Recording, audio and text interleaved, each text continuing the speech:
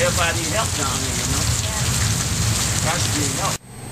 I'm like, okay, it's nice. Right, a nice little bungalow, three bedrooms with a dining room, which turned into a bedroom. I mean, it was very congested because of the amount of people and the amount of students in the small space, and nobody, not everybody knew each other.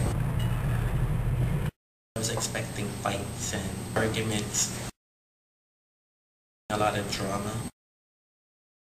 Now we're here in Louisiana and uh, near New Orleans, and this is our fridge.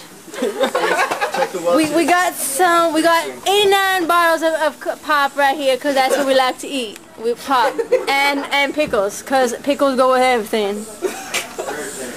And margarine. And you gotta have the Welch And the margarine. butter.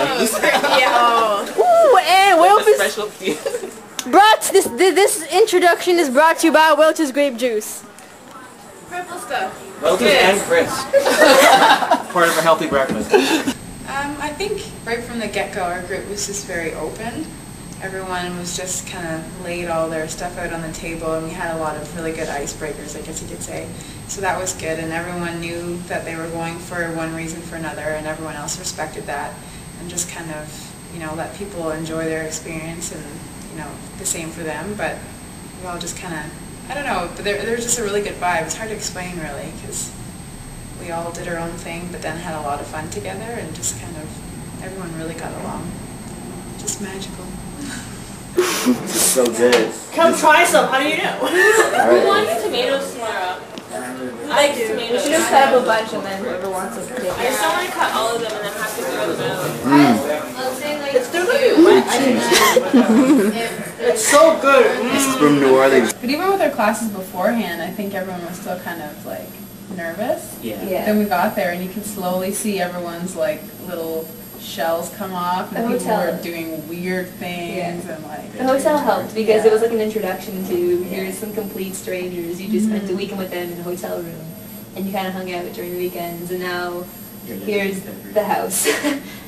It was good. I couldn't imagine doing it with, you know, 23 other people. Like, I thought our group was, it was really good.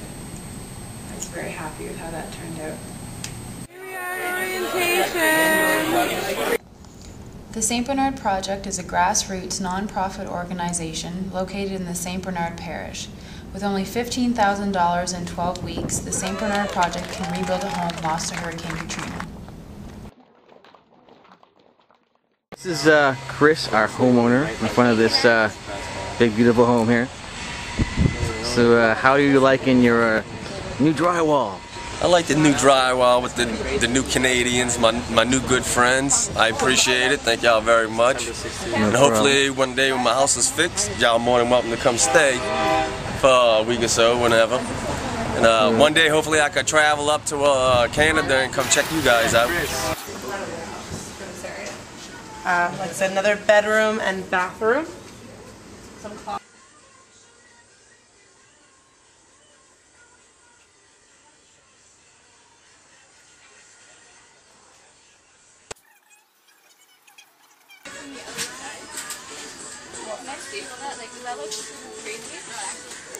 I appreciate it! One worksite for the week with an amazing woman named Rebecca. she just loved to be around us, and, and she, every chance she got, she would come and she would talk to us, and she would kind of explain where she was coming from. She cooked us a five-course lunch the first day.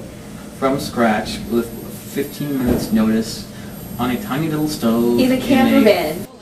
This is, um, I don't know, it's a casserole I make. It's with, uh, salt and pepper.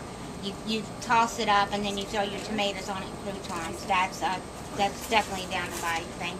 And then, then this is homemade carrot cake for you. Oh, wow. This is the most delicious food. Look, I'm eating vegetables. This is lettuce. Unheard of. Salad. It's a vegetable. Put it in. There you go. Nice.